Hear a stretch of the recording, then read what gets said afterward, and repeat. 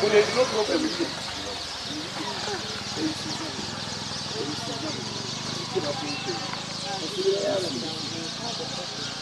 A more complicated Come out, Sassi, the Sassi.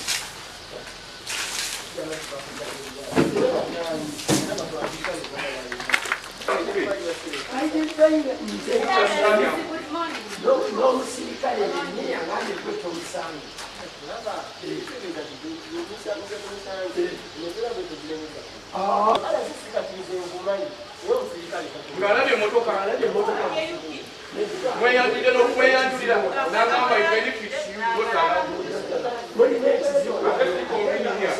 no n'omusomesa munnammwe ate n'agamba amnotala mputika emmotoka n'atigala n'okuyingira so ebikitambala ku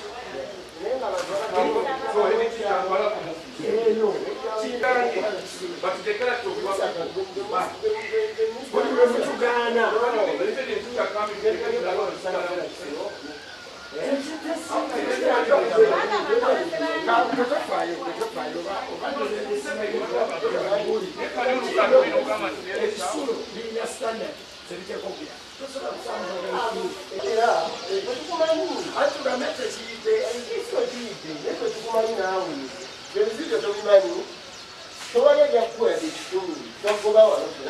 how proof that he has, he has been asking money for that sometimes even when he when he is exams Really?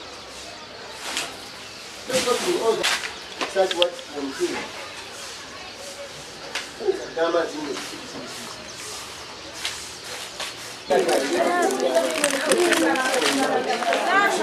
One.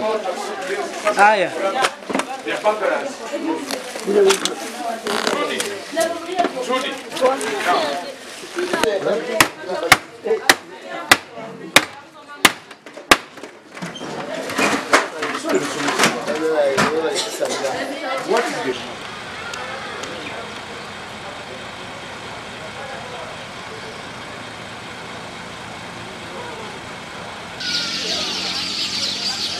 What is batuju mutemu lucky tutambule n'abasirikale bange abo senga bonna bali batutte ku kisaawa zino. Under my command. Morning nesi yennyini mugiraba strokesimiyirisi emotoka gavumenti yugi tulabye amasomero agajja naye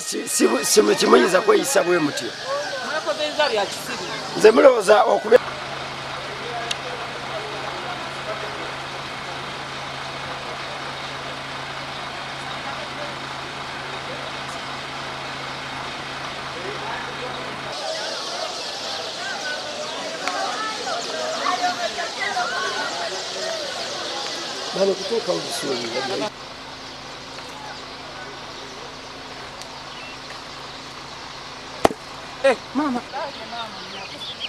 abaana bange bafunjala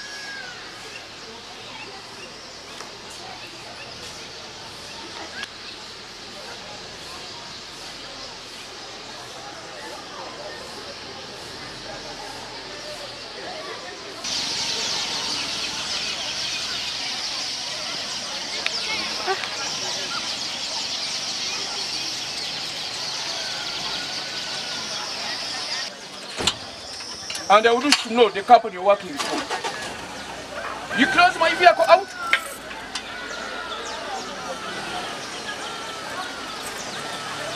You know what it implies to close me out?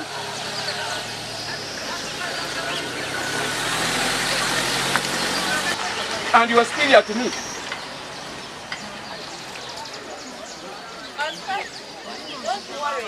You wait. Stupid. It's okay, I'm, I'm stupid. You- you- you- Can you close me out? Do you know what I mean to this city? Stupid. You are lucky that I've not come with my people. You're supposed to quarrel with You should be in prison now. Can you close me out? I'm, I'm working with my. Please allow there. my vehicle inside. Allow that vehicle inside. Open, open, start open. Open. Open. Open this door. Do you have to close me out? Do you know what I mean problem to this school? The school is burning out and you're closing me inside, It outside. is not burning. Who told you it is burning? Why is that vehicle there? Why is that vehicle there? That was Why is it there? There are instructions that you also I'm the same follow. person who said that vehicle here. Are you aware? Are you aware I'm the very person who said he that vehicle? doesn't know you. That's why he was doing that. Is ignorant. It's not being ignorant. Can I introduce myself to him and refuse to open for me? tufunye ku makya kuno omu ku bazira kisanga ate kansala gatuwadde ngaessomero lino lye bayita masaka parent secondary school senyange ampadde amawulire nti likutta omuliro era kyenkoze ku ssaawa kwe kukubira poliisi yaffe eya masaka central okuweereza emmotoka ezikiza omuliro kyebakoze mu bwangu njala kubeebaza naye bwe tuzze wano tufunye resistance ey'amaanyi okuva mu basirikale ababadde ku gate abagezezaako n'okuggalira ebweru. Emmotoka ya rcc ne babadde nabo tisikkirizibwa kuyingira mu ssomero. Nze akulira security ya city ne bakola ekisoboka kyonna to close me out. So kyenkoze kwe kusala amagezi nenyingira uh, with the help of the police. Ngo abakulu abali ku geeti y'essomero baganye era n'omukulu w'essomero omu oba deputy bamusomesa naye wajjidde ng'agamba siteekwa kuyingira.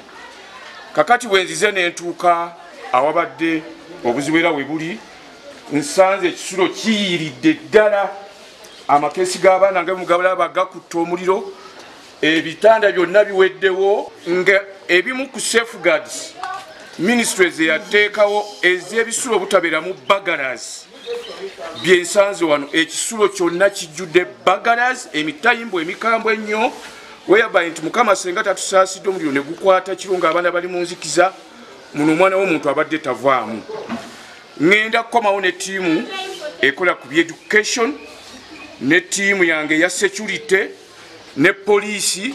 Tutuuze wano meeting to make a decision about the dormitories of this school. Otherwise tetuyinza kuddamu kukkiriza abaana kusula mu kisulo kifaanagana bwe kiti ekirimu emitayimbo oba bagalas ezitakkirizibwa mu mateeka agafuga ebisulo by'essomero.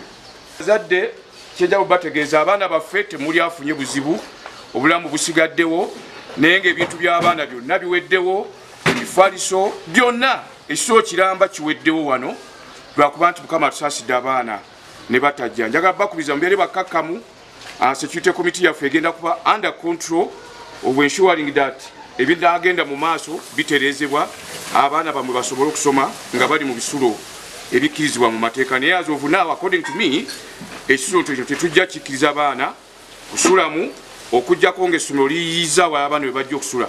Ekisulo byonna tugenda kujja ne security committee tulambule ebisulo byonna. Bwe tunaabisanga nga bifaanana bino we shall not allow business to continue like this.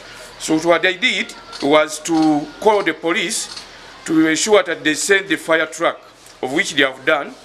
Government gave us a brand new fire truck which is very effective and productive. So when it was coming it failed to cruise through the bad landscape of the, of the, of the road whereby it couldn't reach the premises where the fire was burning. Upon reaching the school me I found when the askari of the school couldn't allow me to access the place, that got instructions that nobody is allowed to enter the school, including me, the chairperson of the security committee of Masaka City. So I had to quarrel with them, I can't hide that, and I had to struggle and ensure that I entered the team of journalists to come and cover what's taking place. When I entered, I went to the police in charge of fire brigade of Masaka City, who led me to the premises or the, uh, the, the dormitory where the fire was burning. And what I have found here is unbelievable. A whole dormitory, dormitory is burnt down, all suitcases and books, all the belongings of the students of this uh, dormitory are burnt down. Something that has astonished me is that all the windows and doors are made with burglars, which really is an abuse to the rules and regulations governing the dormitories of Uganda schools. Uh, in the way forward, what I'm going to do is to convene here a security committee of the city and uh, go through what's supposed to be done here and to enable the school to go ahead after uh, doing what they are supposed to do on the part of the dormitories that has been da- burnt down. However, they received the call at around 6 and uh, as we were coming we tried the other road, we got stuck and we tried this one, this is where the vehicle stopped, I mean ended. But we managed to contain the fire using buckets